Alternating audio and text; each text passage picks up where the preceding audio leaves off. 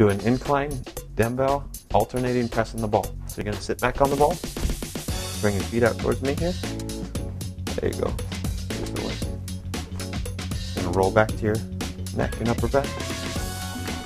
Hips up, bring the weights up. There you go. Press up. Rotate out. Come down. And drive it up. Just this one. There you go. Come down. And then drive this one up. There you go. This puts a little more force on the ball or on the body just because you're forced as you're pressing up to stabilize your body from not falling all the way over.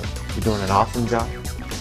Keep your hips up just a little bit higher. Keep those glutes nice and tight. Very good. Excellent job. Perfect. Good work. Keep going. Keep going. Just drive it up. There you go. Right back up with the other one. Exhale on the way up. Inhale on the way down.